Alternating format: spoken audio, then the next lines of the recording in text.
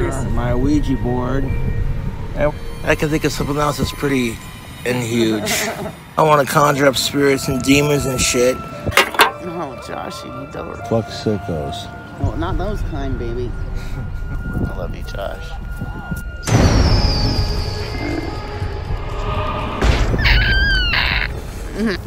Marry the banshee if you don't. Did you hear that? I want to be buried here with you.